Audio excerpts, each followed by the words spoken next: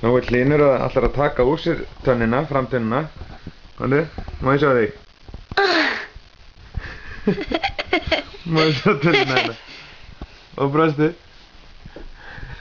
Nei, kíkja, nei, kíkja. Mér, mér, mér, mér. Er að blæða? Já, aðeins bara. Má ég kíkja, pabbi? Má ég sjá þig, Hlynur?